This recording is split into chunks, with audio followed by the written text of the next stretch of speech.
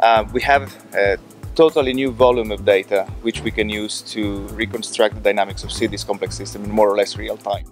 So what we are doing with big data, with collective sensing, is to use the digital traces we all leave behind on a daily life, whenever we touch a phone, whenever we touch the internet and so on, and we aggregate all these data in an anonymous form to recreate the dynamics of the city, to reconstruct the history of the city, to reconstruct and perhaps to predict a bit of its future.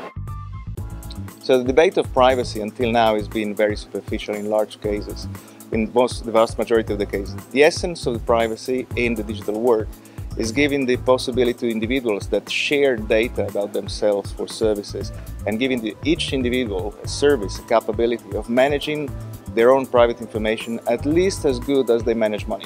So we have to think of privacy in the same way that we deal with money. We have to think about banks of privacy, banks of information. We have to think about transactions of data and so on.